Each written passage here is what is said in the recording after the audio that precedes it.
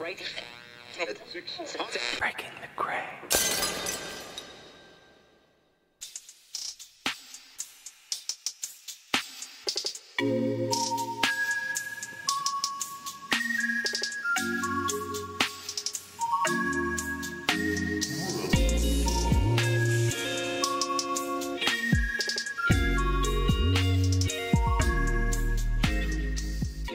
Sarah Turner, how are you? Very good, as usual, Russ. Very, very good.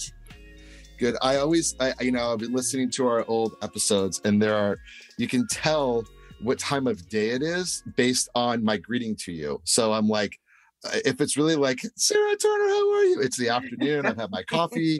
if it's the morning, I'm typically like Sarah Turner. It's a little more, a little more low key. So, and I my my coffee's here. I have not had my morning coffee yet, but Oh, how are you? Dude, I'm good. Well, see, I'm the other way around. You can tell the time of day for me too, because I'm really great, but that means it's morning here. Right. Um, yeah, fabulous. Yeah, totally I good. do. It is nice that we're matching mornings now. Not yes, you know, that's nice. Yeah. how is how is how is your world your your U.S. tour going? You Of and Bruce America? Springsteen. Yeah. Yeah. Oh yeah, fabulous, fabulous. Good. Texas today, re- yeah, I love it. Yeah, You're just going to the biggest states. You're going Florida, Texas, California. You're just going to go. You like square footage. Uh, No, no, I'm not fussy. No, don't, not at all. I am not fussy. I will go where I'm invited. So Wherever the sun goes. Well, I, Yeah. we're going to meet soon. One of these episodes are going to be live and in person, which is going to be amazing. Because what's absolutely shocking is you and I have never met in person. exactly, exactly, and all that stuff we talk about communication, biophotons, Yeah. you know, being in energy fields, all of that stuff we haven't actually done. So next No. month is Next the date. month. Oh my god. Oh my god. I'm gonna. I have like one of those Brace, like brace. um those like uh paper chains where I'm gonna every day I'm gonna rip one off. I'm like I'm getting closer, getting closer. Yeah, right. I'm so excited. Okay, so we have we have another guest. I see another person here. Do you want to introduce another rebel yes, friend we for have us? a rebel friend. We have a rebel friend because we've done a few where we're kind of making friends as we go along. But this is this is a genuine friend of mine. So this is a fabulous biohacker, um, Dasha, who I've known for a while and who I actually did get to meet in real life uh, recently, which was super cool. Um, and Dasha is kind of a fellow rebel scientist. She's a fellow neuroscientist. Uh, and she's going to talk about my favorite topic, which is the brain. oh my gosh, I love the brain. Dasha, Yeah. how are you? I'm great. it's the morning here. It's definitely Oh, the morning brilliant. here. And before, and just to caveat before we keep going, I offer to the two of you to meet in person here down in Dominican Republic. So come There on down. Oh, there's an offer. you're- Now, if if Yeah. you're following the sun, then um, then here it is. Come on We'll down. follow up. We will follow up with with uh, next season. Sarah and I will go on a, a, a road show together, and we'll do it. We'll be there. We'll do it. Yeah, the Dominican Republic Roadshow. Why not? Why not? Because I know you're doing stuff down there. We're going to talk a bit about that later, Dasha, but maybe that's something that we can come on. That's super cool. Sure. Hundred So- percent. Dasha, who are you? I, I, I- we, we've heard great things, but can you introduce yourself to our audience? Sure thing. Um, I'm a ex consultant who got ill. Like most of us, we all had our health problems, health challenges. Um, and by realizing that many of my health issues were not being solved by doctors, I needed to take it into my own hands. So, specifically, when I say ill, I mean I had six brain injuries. So, I enjoy smashing my head um, because I like sports and I like to just go for it. So I had a brain injury when I was 18 for a car accident, followed by skiing, mountain biking, kiteboarding, wake surfing. And then the last one, uh, which was about two and a half, three years ago, was salsa dancing. I was not drinking and I have been dancing salsa for years. So I just got dropped on my head and Oh, um, and it was a it was a beautiful blessing in disguise because now I'm in this space of biohacking and helping others. So I I left corporate America and came into um, into this field. Uh, and like Sarah had mentioned, I started my master's in neuroscience, but because of the brain injury, I actually never finished it. Uh, so there's an element of I was studying the brain as I had a broken brain, and I became case study, my own case study. And for Yeah. two years, for two years, I had chronic fatigue, chronic anxiety, depression, exhaustion. Um, I couldn't, I couldn't hold a conversation because I couldn't continue the thoughts. Mm. And as somebody who very much identifies or identified with my brain, that was quite a challenge. And yeah, we can get into what I did and what I didn't do uh, and what worked, but that's that's kind of me in a nutshell. Yeah, I'd love to. On the injury side, uh, I have my daughters are all athletes. I was an athlete, uh, played a little bit of sports in college, and I had massive amounts of football injuries.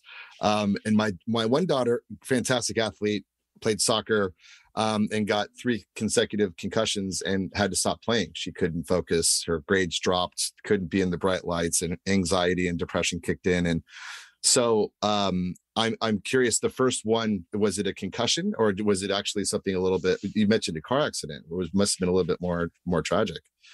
Yeah, it was a it was a traumatic brain injury. So concussions are Mm. known as the concussions are types of traumatic brain injuries, as are whiplash potentially, uh, but they all fall under TBIs.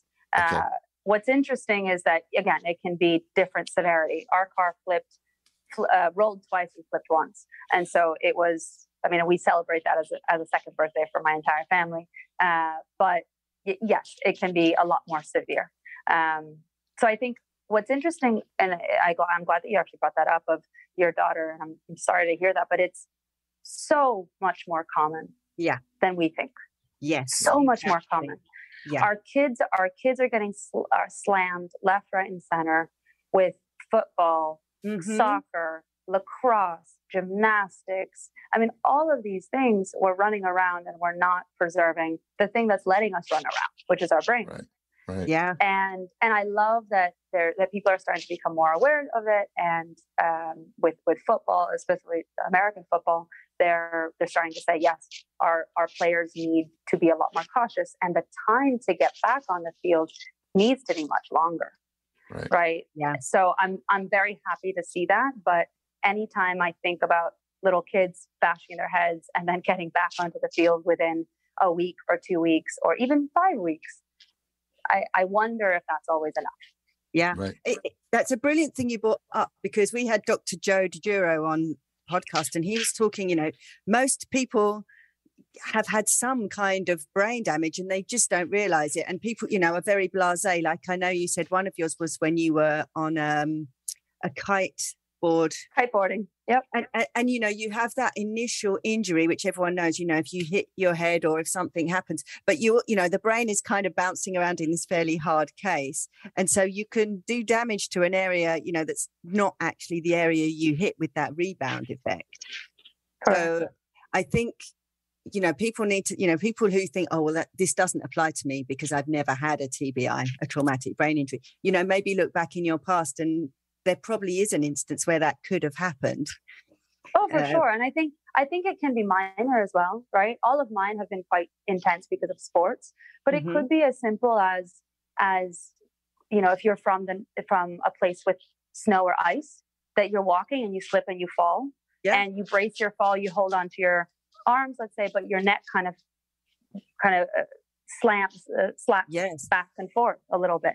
That already, your neck is quite, while it's quite strong, in your head itself and in your in your skull, your brain is bouncing between one side and the other side. And like you just said, it it can result in a bruise on the brain, yeah right? And and what's what's tough about these brain injuries is that they're silent and they're invisible. And where whereas if you broke a wrist, you go to the doctor, you get a cast, that's people right see it that's and you right. have six weeks where you are you are immobilized. Now can you immobilize your brain? No because even now i'm sitting here talking to you and you guys as well. At the same time that we're having a conversation we're thinking what is the next thing we're going to say? How are we responding to the person sitting across? How are we engaging? Also by the way there's a noise that's coming from over to the right. Or how am i sitting? My digestion that's happening. There's so many beautiful things that our brain is doing simultaneous to the cognitive things that we think of, right? So it's very, very difficult, i.e., almost impossible to immobilize the brain. And so for me, one of the things that I had to do was, and, and that is what I needed to do, and what many people need to do is completely remove themselves from the vast majority of inputs that they're receiving. So, Russ, like what you were saying with your daughters, you know, if she had light sensitivity, how do we remove the light? How do we remove computers and flicker and even reading, even even taking in any other inputs? That causes the brain to work, right? So for me, I had three months where I, I I was lucky enough to be able to take that time off, and I went to my family's house in in really the middle of nowhere, and I didn't see a single soul. And the only thing I did was give my brain time to rest. So no reading, no podcasts, no nothing. It was it was kind of Dr. Jack Kruse talked a lot about it, but light water magnetism, right? I was yeah. grounding every day. I was swimming. I was out in the sun. Um, I was I started. I was vegetarian for nine years, and understanding more about the the fat that my brain needs as fuel, I started taking in a lot more omega threes. The challenge with omega three is uh, and there's a beautiful brain uh, book, um, "When Brains Collide," that I would recommend anybody to read, um, which which talks about it, it, was a an army, I believe, it was an army doctor uh, who started using a lot of omega and omega three uh, in a protocol uh, to help ex army army vet, vets. So if they had PTSD, if they had concussions, if they have traumatic brain injuries, any any of those things, and he found that omega three was a beautiful thing to to get the brains back up and running the challenge again being making sure that you have a very good and good and clear source. Yeah. Because many of these omega threes can be can fall rancid very quickly. Did, did you eat fish or did you take the tablets?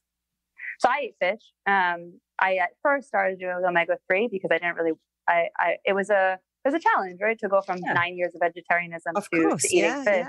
Yeah. yeah. Um, but at the end of the day, it was wait, I need my brain needs this. I, yeah. I need this. So I'm going to need to make some changes if I want to get back uh, because I've swung all the way to, to, to disease. So I need to swing quite far the other way to right myself. And so I, I mean, I was eating fish probably three, four times a week, um, which was fantastic because it gave my brain what it needed. But then obviously resulted in mercury toxicity. uh, so, so there's there's always this balance when we talk about health, and it's and I think that there's that element of find the thing that is your biggest pain point and start with that. Because there's so many different things within health that you can start with, and you can try to start with. And it's if you're having gut dysbiosis, you're having a poor bowel movement, start with that. Don't start yeah. talking about EMFs and electromagnetic fields until you you figure that one out. So so how did you then decide to take your I mean, what made you take three months off and go and do that for your brain and you know like turn off all the lights and start eating fish because that's you know not something that i think is probably recommended to do for me it was i hit such rock bottom that i, I needed to figure something out right? right? and i was going to all these doctors and they uh, they said all my scans are fine and everything's fine but if you wake up with a chronic headache and you have the headache all day long and you go to bed with a headache, that's not fine.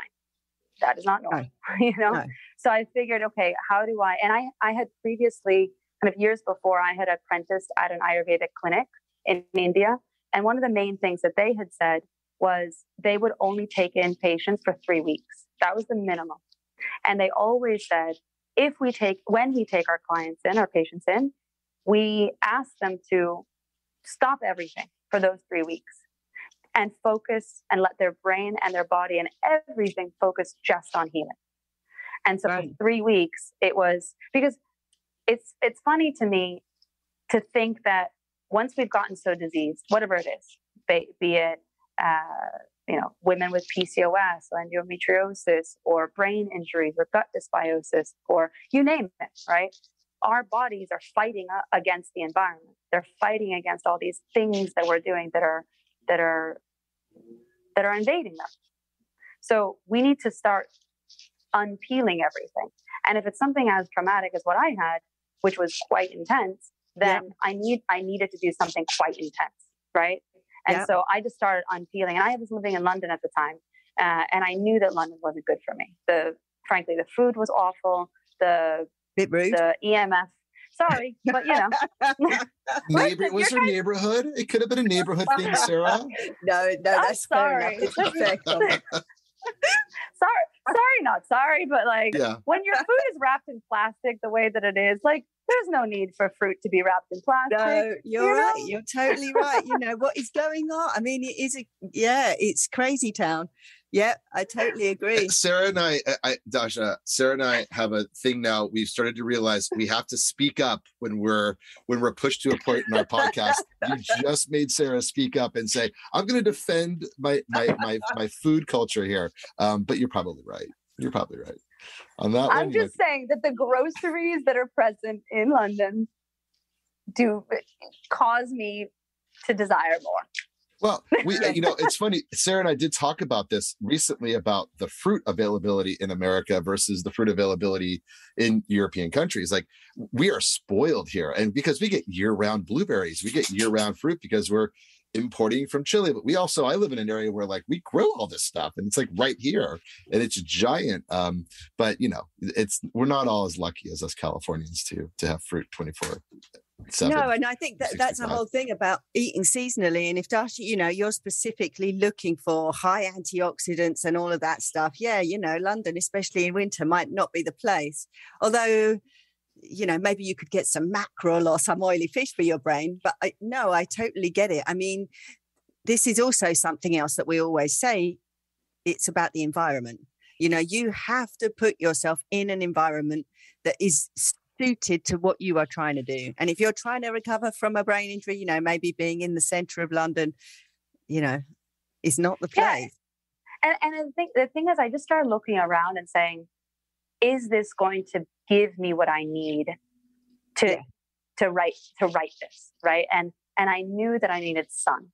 I knew that I needed to be grounding. I knew that I and all of those things would help to reduce my inflammation. Did you have all the And- brain scans and stuff, Dasha? Did you go and get like the EEGs and Yep, yep. I had everything done.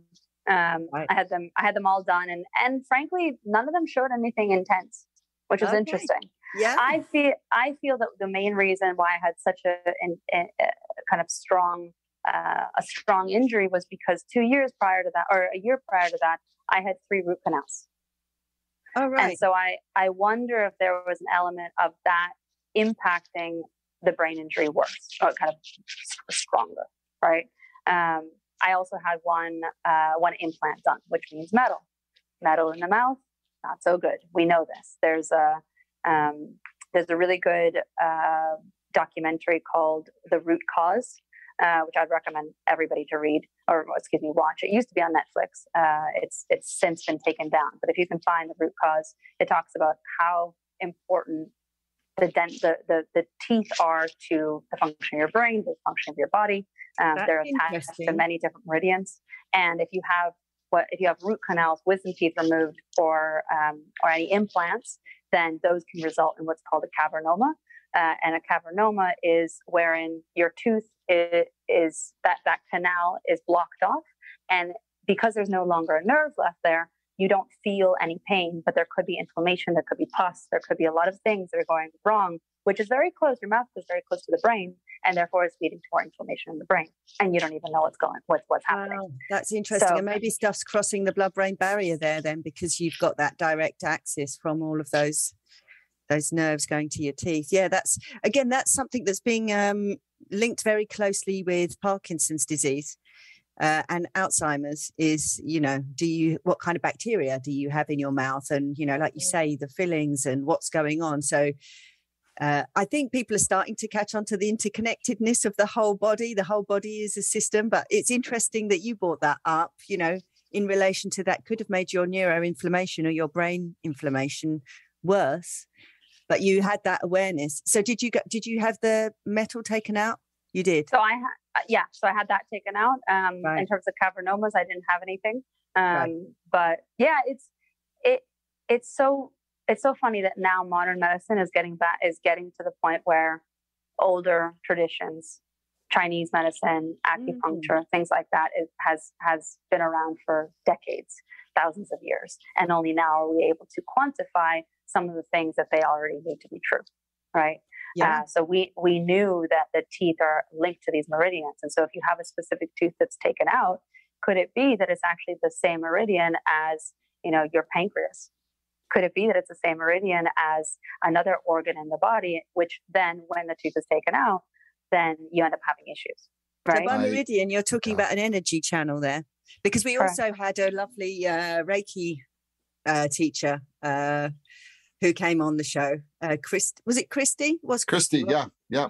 um, and she was talking about these energy channels but you know it's hard to to connect that with like something very physical like okay you're connecting your teeth to your brain because you know the language is so different you have this kind of very esoteric language where people are talking about energy channels and meridians and kind of healing in a in a way which isn't mechanical and then here you are saying you know this is a very real connection this is actually like some kind of channel in the body Yeah, so so I'm not a specialist in this, so forgive me if I'm speaking out of turn, but from, from what I understand it to be, it's that each tooth is linked via this meridian channel, via this um yeah, I mean it's it's it is esoteric in the sense that can we specifically see it? I believe that there are, are that people as acupuncturists, they can follow a meridian channel down the line, right? Um, now, so that therefore that means that it's not specifically the cardiovascular system or the lymphatic system or things like that, but there is a channel that's going throughout the body. Yeah, possibly it- water, couldn't it be, Dasha? It could be something to do with structured water going on the outsides of vessels. You know, I'm sure Mhm. sooner or later we will find something that correlates because now, you Mm. know, people are starting to see, okay, you know, you have blood vessels, but also the integrity of those blood vessels and how hydrated they are, that that also allows flow of information. So That's Yeah. that's really interesting. Oh, I want to look into that. That'd be yes, yes. mhm. I just think you're trying to freak me out for my dentist appointment that I have in an hour. I forgot, ross I forgot. it's okay. It's okay. It's Yeah, fine. okay. They're probably going to pull the one tooth that regulates my gut, which is my biggest problem. And then I'm Sarah's going to be like, we can't figure this out. And we'll go back to that tooth, Dasha. It'll be that one tooth. It's If he suggests know what, root canal, Russ? Russ, it's seriously, if he suggests root canal, you need to think about it and maybe see a biological I'm dentist because I think it's uh I'm pretty ob- obsessive about my teeth. Like that's one area where my mom taught me well. Like brush Oh, yeah. twice a day, floss, and I do. Uh, my children just look at me like you're not gonna you're not gonna bully me into brushing my teeth. I'm like, okay, but your yellow teeth will bully you into brushing your teeth. Like, you know, but it Very is true. it isn't super important. I mean, it all starts with it's so it's so funny you say that because we we've talked to people that say you know the, the music you listen to affects and impacts your body.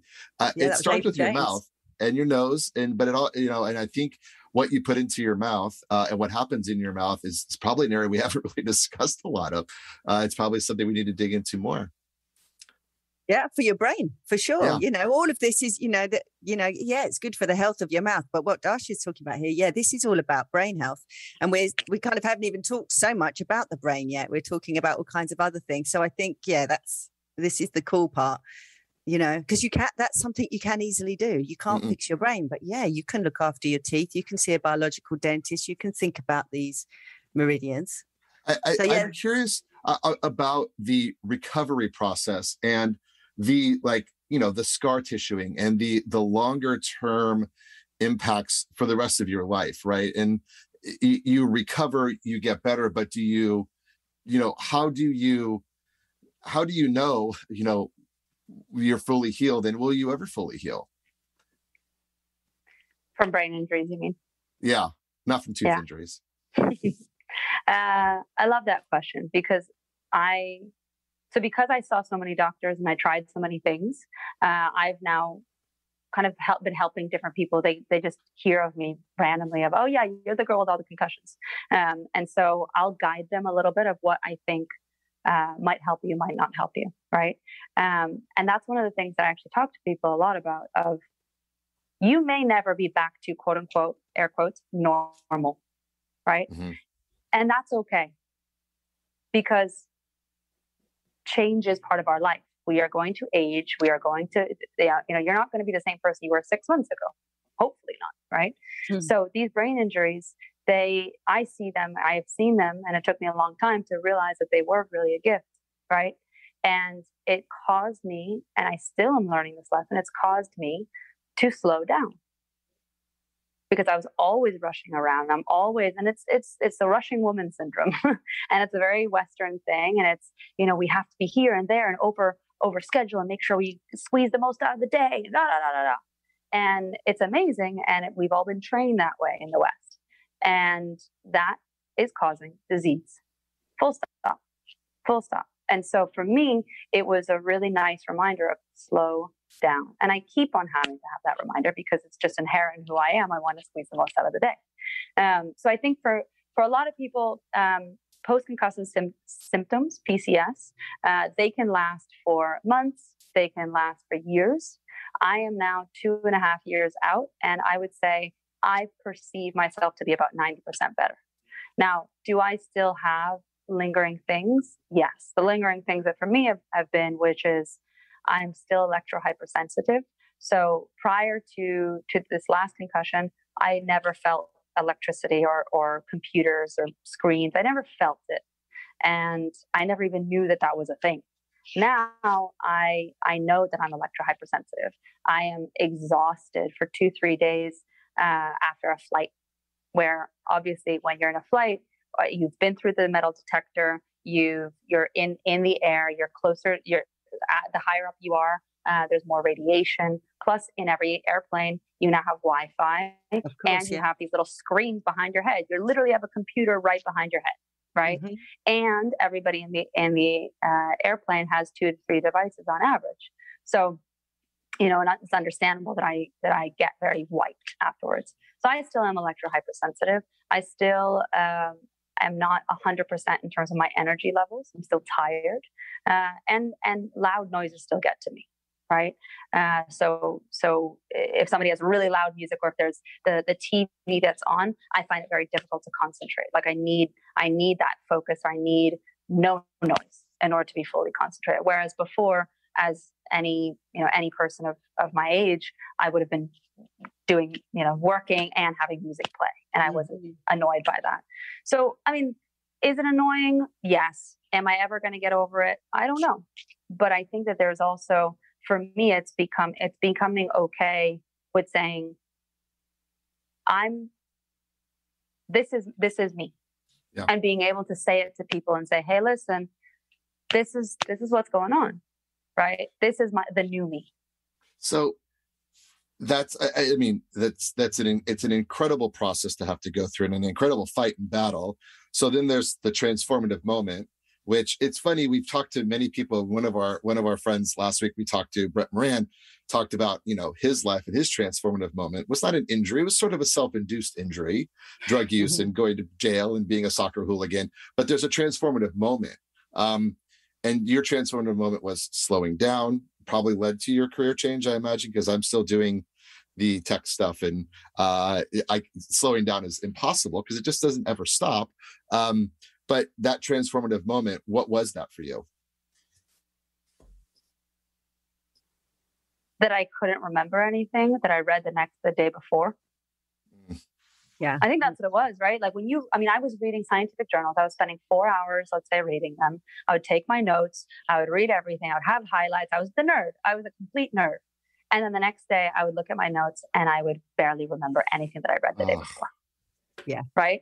And Terrible. especially, you know, Russ, you you you're you're saying that you're in this tech world and you're go go go. Imagine if tomorrow you weren't able to to remember mm. what you did today. Imagine if you didn't have that capability. Amazing. It would be amazing for my job. no, I'm kidding. That's a terrible joke. No, but you're right. You're absolutely right. Like it's it's really challenging. And so you decide to make a shift in your life and a change in life. But it wasn't like a, a, a momentary thing. It was a gradual thing where you said, I'm gonna take life slower. I'm going into take care of myself and teach others how to take care of themselves as well. And I, I, think to me it was a. I mean, I was already shifting away from from consulting. I was a management consultant. I was already shifting away from that. I knew that I wanted to do something with the brain. Um, so I had already shifted. I had shifted, saying I wanted this to be my focus. Uh, but the question of where my focus goes next, because I was thinking of going back into private equity and kind of being in um, the translator between the scientists and the and the business folks. And I said that that doesn't actually give me that much joy. And I know it's going to be a lot of stress and it's going to be very lucrative, uh, but it is going to be extremely stressful. And I cannot mm. cope. My brain cannot cope. And moreover, even if it did, do I want it to? Right? I think that we're, you know, we're, we're stuck stuck a little bit. I can say so for myself that I had this plan. I had the checklist. I'm going to get the 4.0. I'm going to get the great job. I'm going to get the internship. Up, up, up, up, up. And even now, look, look at where we've been in the past year and a half. Many of the people, my peers, who are you know have all the amazing things, all the accolades, all the all the things on their resume, they're stuck in a very beautiful penthouse, you know, apartment in New York City. Mm-hmm. And they're mm-hmm. not living the life that I have now, which I'm living on a beautiful island in Dominican Republic. I've slowed down and yet I feel like I've moved forward, you know? And I so I think my career change has said, how do I empower people with good information and and I really like the phrase. It's kitschy and it's a lot of people use it, but I like it, which is how do you be a lighthouse? How do you mm-hmm. shine a little bit of light onto something to say, "Hey, try that over there." You know, you're very stressed. Okay, let's let's figure out how to how to remove that. Not remove that stress because it's not about removing it. It's about learning how to be more resilient to it, right? Uh, how do you take little breaks throughout the day? How do you start incorporating that? How do you start setting boundaries with your job to say, hey, listen, you know, I'm not going to work until 10 o'clock at night. And that's okay. And what I found, even when I did that in, you know, five years ago, six years ago, I got more respect for it. And I actually was more efficient with my time because I knew that I had to go. And I think that any parent probably sees knows that as well. The second that all of a sudden you have a little kid to take care of, you're you're no longer staying at the job that that much longer. You've got to go pick them up, or you've got you've got somebody to take care of, right? Did yeah. you did you meditate pre and and and did you are you a meditator? Yeah. So I prior to that, probably five years ago, I had done a maybe even longer. I had done a vipassana meditation um, mm. in India for ten days, and I absolutely loved it. And if anybody gets the opportunity to do so, please, please, please do yeah. so please yeah. do so. It's 10 days. Sounds absolutely mental, sounds bonkers. It's 10 days of not talking. And you guys can tell that I clearly talk a lot. Uh, and and it was exactly what I needed. It is a shower for your brain. It is uh-huh. a surgery for your brain, right? Because when was the last time that you had a day, two days, three days, 10 days where you are not speaking? Mm-hmm and where you are. I mean, when I went, I don't know. In the lockdown, I think I was pretty close to. in the lockdown, I, I, I think really, I, I had close to three months. But yeah. um, I, I think that I think it's brilliant what you're doing. Uh, also, tell us a bit about your retreats now, Dasha, because this is something that you're trying to teach people. You know, you had your awakening with these terrible concussions, but it would be great if people could get there without having to go through the, you know, smashing their head part. Uh, yeah so tell us about those brain retreats because I think a lot of people listening also want to have that. They also want to be able to live their more authentic life or find yeah. ways to cut down the hours that they're doing. But but you know, does it really take something so dramatic to get there, or how do you coach people to do it? Yeah, thank you, and thanks for even kind of mentioning it. So so I, I'm starting to do these retreats down here in Dominican Republic. And the idea here is it's not a yoga retreat, it's not a meditation retreat, it's a healthy vacation, a health vacation.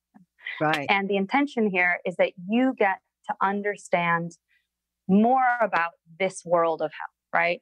So it's done instead of just listening to a podcast or going to a conference and seeing some of these things, you actually get to experience it within those five days. So it's five days. You come down here. Every retreat is co hosted with myself as well as somebody else.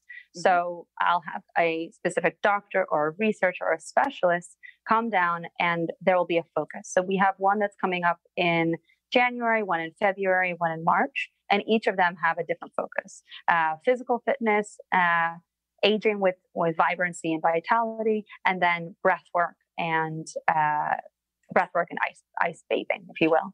Uh, and again, the idea is you come, you come here. We're going to have separate workshops to teach you about ice bathing or cold showers or uh, why do we need to wake up in the morning and look at the sun first thing in the morning mm-hmm. what is that actually doing to your circadian rhythms and let's try it let's practice it same thing with fasting let's talk about fasting for women versus for men it's very very very different and we need to we need to understand why that's different as well as give it a go. You, a lot of people that I speak to, they hear these podcasts and they're like, okay, yeah, yeah, yeah, I should do that. but then they don't know where to start, or they don't Yes, know, or it's a little scary, right? Yeah, like, oh, okay, where- I have to. Yeah. You're totally right. And- And that's where we've tried to come in and try to do these seven day challenges because it's, you know, people talk about it and it's very interesting, but then how practical is it? And this is where Russ and I have tried to come in and like uh, do some of these things. So I think it's so cool that you're doing that down there in a kind of a holiday or vacation, as you say in the States, environment, because then it, it- you're doing it with other people. You don't feel so silly doing some of these things which seem a bit far out. uh, Yeah. It's totally cool. But yeah, that's exactly where we're coming from too, because it, it's one thing to get this information. It, you just need to start trying little things, like implementing little things. And as Russ and I found out, some of these things are easier to implement than others, you know? Yeah, and I think I think the the the thing that these retreats give you is, in addition, we're going to be giving uh, lab analyses. So one of the main things with where when people get it wrong, in my opinion, in terms of biohacking, is that they will get started and they will buy up all the different supplements. They will try everything before understanding what their body actually needs. So there's my my mentor and friend, Dr. Nasha Winters. She always talks about test, assess, address, don't guess. Right. Mhm. So the first step of it all is to test. You need to test to understand what is actually going on underneath the covers, if you will, um, or and and and figure out, oh, I do have this imbalance, therefore I do need this supplement. Or I have, you know, my hydrochloric acid is very low. Okay, what can I do either in supplement form or naturally? What are the foods that I can eat?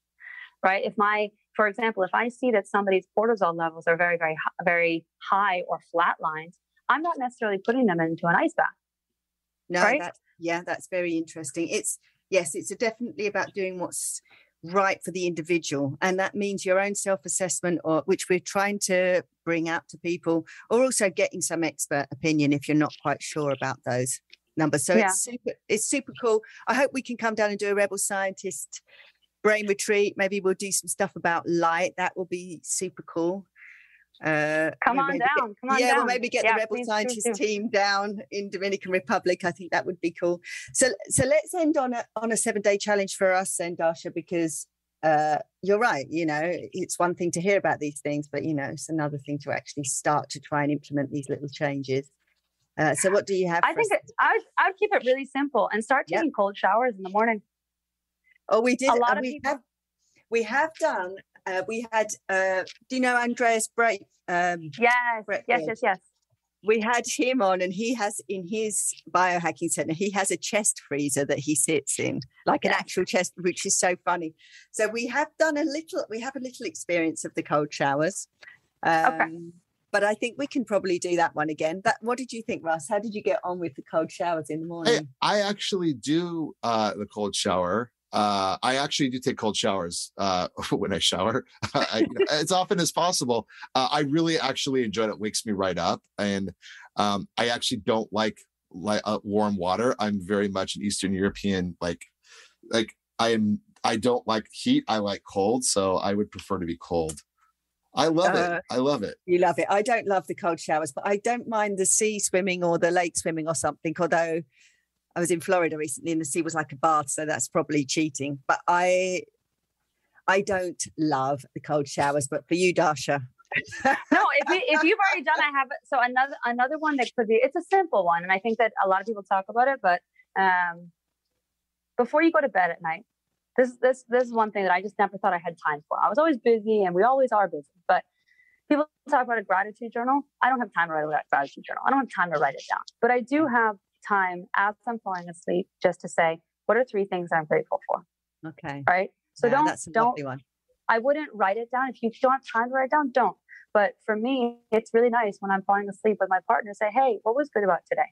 What was great? Right. What, what are you grateful for about today? And I think, especially if you're somebody who's dealing with a brain injury or dealing with some health health issue, it's Yeah. a moment to say, actually, there was goodness here. There was, this- and I and I talk about, um, you know how there's this term microaggressions that people talk about. Well, why don't we start finding micro joys? Huh. right? And I have these little things where it's like every there's micro joys literally everywhere.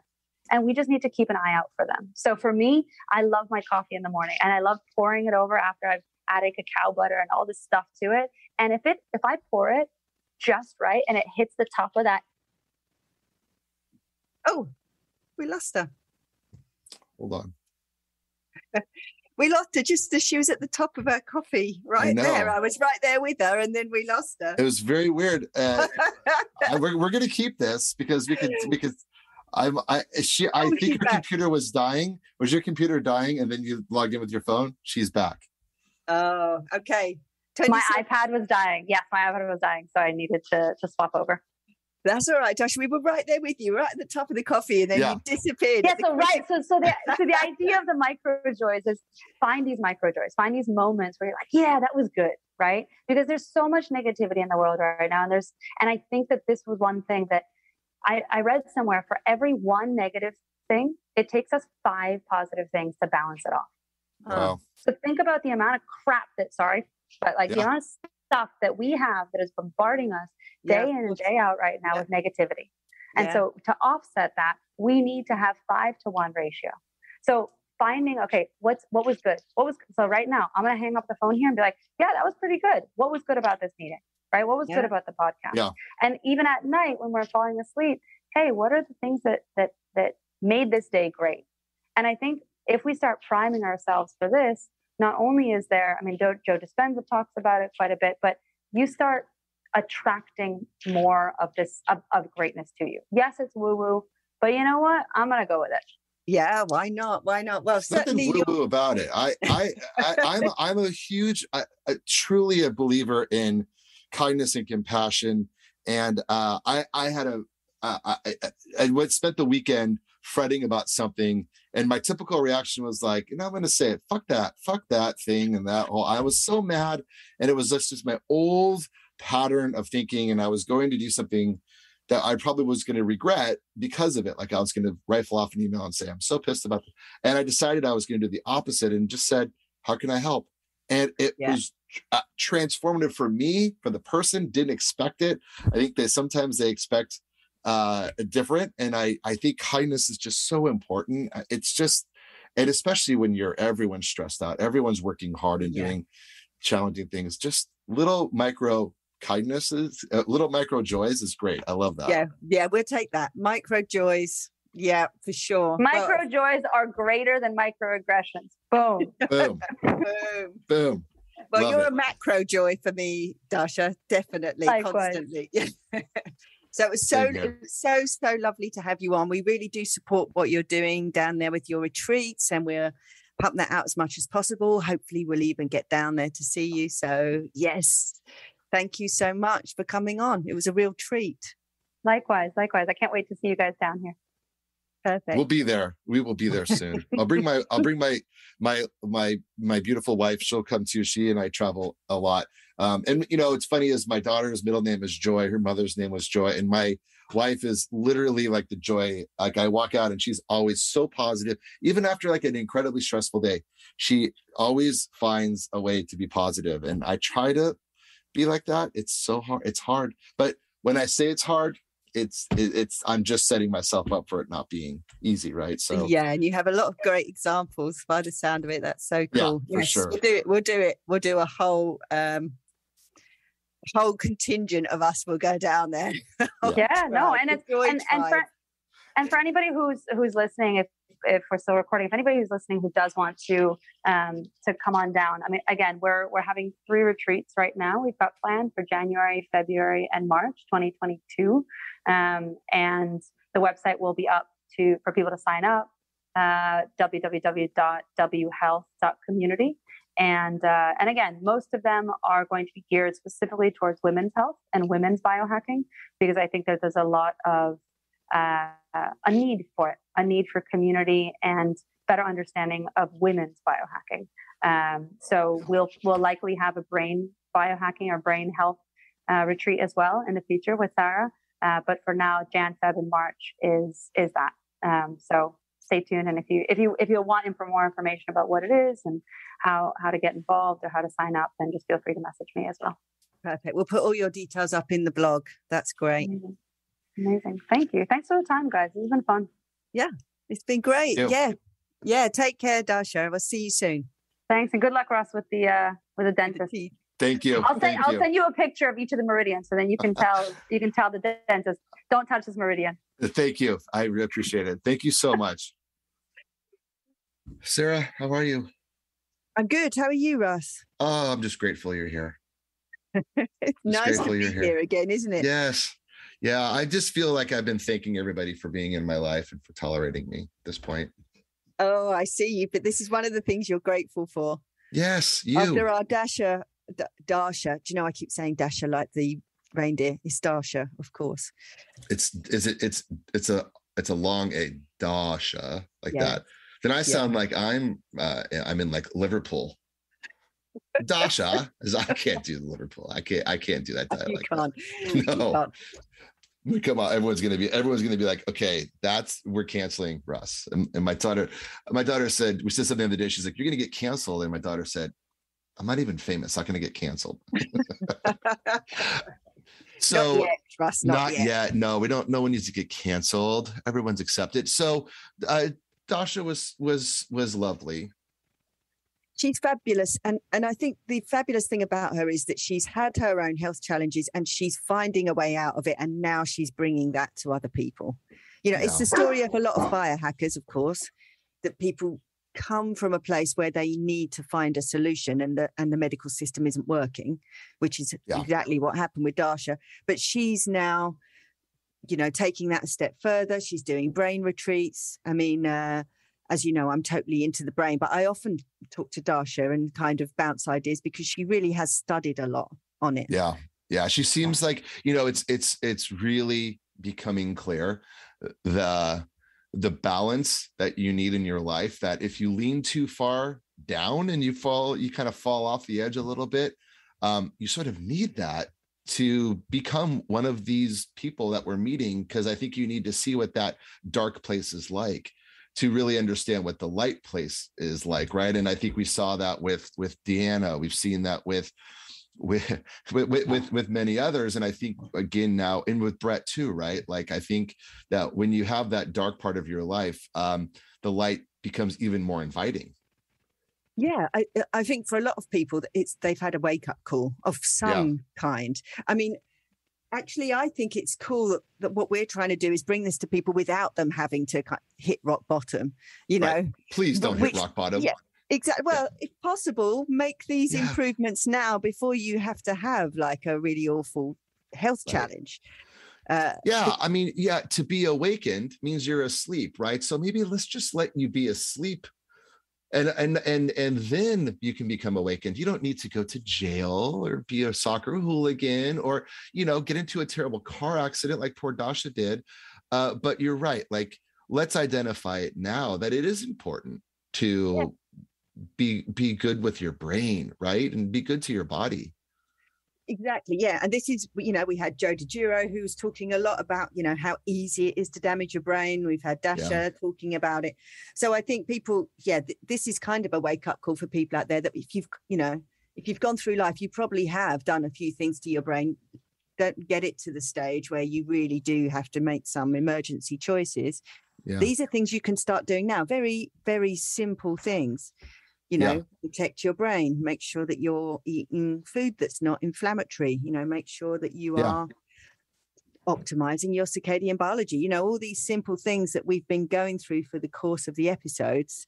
You know, Yeah. these are things you can do now before you damage your brain. Let's try and kind of head off those issues. Prevention is always better than cure, but of course, you know, as humans, we tend to yeah and there's push you know i the think edge. Ha- having having lived with someone i mean multiple people in my life who had had like head traumas like like i myself had many concussions playing football and my my son had three or four playing football and then my my poor daughter who played soccer and loved it had three kind of in a row and that was the end of her soccer career and you can see it takes a long time for the brain to heal from a from a from physical damage um and people really don't know what emotional damage they're doing to their brain um, and it takes time to heal and what are the things that you've taught me about healing it's sleep it's turning off the blue light Yep. eat well no, blue light toxicity i'm learning Yeah. what are other things we can do to heal, Sarah? What are other things to do to heal? I've run out of my list Are you struggling already, Russ? yes.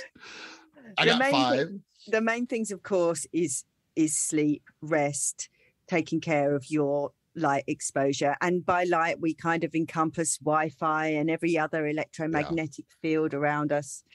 You know, shutting off for things. We have breathing. You know, Christian did the breathing. We have ice Yep. baths, way that ways that you can get back to that natural I- state. after we were after we finished with Dasha, I looked up uh, is it, it's EMFs, right? That is what they're called? Yes, electromagnetic fields. And uh, recognizing that I wear these silver headphones wherever I go, um, Yeah. I feel like uh, what's that? There, there's a comic book character that's always wearing headphones. What is how dangerous is that, and why is it dangerous? Well, well, you're constantly putting that field into your brain. I mean, you're literally, you know, baking your brain in those electromagnetic fields. And I don't know if you noticed with Dasha, but she had those things, they're called ear tubes, where actually the electricity only goes to a certain point, and then they're literally just tubes, the part that goes into your ears, because she Ah. has this electromagnetic sensitivity. She's one of the people that can actually sense that. So, Yeah. you know, there are ways that you can negate that. And, but certainly having those things attached to your head for a big percentage of the days is probably not a great idea if you're Okay, really trying to Fine. focus on brain health. Fine. Gone. They're gone. Take, it- take them off. You don't I need them. can't. I can't hear you. but you're right you're right and i think it's just bringing those things to light like i think it's so sarah you're it's so funny about you that i think what i love so much is that you are a light expert but you are shining a light on all these things that i think I, I didn't know about and i hopefully our audience you know will learn something from you so thank you for being our flashlight and you know i think as one of our other guests said you know i think you are our lighthouse right you're the lighthouse for us It's such a good metaphor. You know, we're all about light in so many Yeah. ways. So, yeah, I love that. Thank you, Russ, for saying that. But yeah, I love that because it is about shining light on these things and trying to nudge people in the right direction before it gets to a critical stage. Yeah. So let's try and look at, like you say, kids at the moment playing football, they're now saying, should we be teaching kids headers? Or, you know, all of these things Yeah. because people are starting to realize, oh, right, you know, this has a long term effect that we're only just now seeing as the population ages and all of these things are starting to become apparent. Right. No, that's very true. So I will be the light keeper, the the the the salty old man in the lighthouse trying to protect it while you are out there shining the light on everyone. How's that? How's shining sound? the light. Well, with the help of all of our lovely guests, of course, because right. um, Dasha for sure. she she was great, and I think like doing these brain retreats is a brilliant idea. Hopefully, she can Yeah. help people out there. We'll put up where we people can find Dasha if they've got any questions about concussion. I know that she's looking to use certain measurements that people may find helpful. Yeah. Um, her seven day challenge was to do the gratitude, which we had done with Boomer. So I already had a bit of a head start on that. Same. But of course, you know, one of the things I'm grateful for is having all of these lovely guests to Right. speak to. I I- mean, I know we've got some really cool ones lined up. That's right. And I write I write all my gratitude down. Uh, and you know, it's interesting. I was reading an email that I sent for work the other day, and I used the word grateful four times. And I, I think it's just something that I now recognize that I am really I am grateful for these people. I'm I it's not that i'm not just using the word uh you know to to seem nice. I really am grateful. Like without other people i would not be able to get my job done. Um without my wife i would not be able to do a lot of the things in my life. Without my children i would not be able to do and without you. Like i think just we should just stop for a second and say i'm not using you i'm grateful for you. Yes, I think so. And and it's amazing with all of this high tech and all of this amazing stuff that's coming out. And yet, you know, this is not the first of our guests to say this is some really, really simple, fundamental thing about being human is just gratitude. You know, right, we can have all, you know, we can have technology that costs 15 grand. You can lay in it, it can do all kinds of fancy things. Just being grateful, you know, that's one of Yeah. the things that people come back to. So I, you know, I had a college professor that said to me, you know, do you think uh, driving on the freeway that that humans in cars are selfish or are they helpful? And half the class said they're selfish, rude, honking at me, blah blah blah. Then half the class said, no, actually, they're they're actually, you know, they're being kind because if they weren't being kind, they'd they'd crash into my car, or cut me off, right? Like we are all driving in straight lines, but slowly. And I think I think of that every time I cross the road when I'm in New York City. I haven't been to New York in a while, but I'm always like, thank you for not running me over. He stopped. Thank you. Yeah, just about usually in New York. Right. right. So begrudgingly, again, yeah. but yeah. Everyone has a little bit of kindness, even if they're in a hurry. Even if of they're course. in a hurry. Of course. Super cool. So thank, Thank you, you. Dasha, Thank and you. thank you, Russ. And Yeah. yeah, I'm grateful that I'll be able to speak to you soon with the next guest. Beautiful. Bye bye. Take care. Bye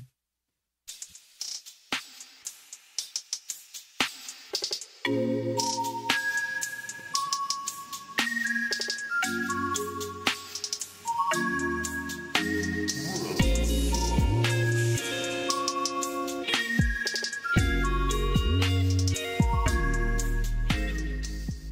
The Rebel Scientist podcast is a Breaking the Grey production, created by Russ Eisenman and Paul Wood, hosted by Sarah Turner, music and sound editing by Logan Shea. For more information and other fantastic podcasts, visit breakingthegrey.com. That's gray with an E, breakingthegrey.com.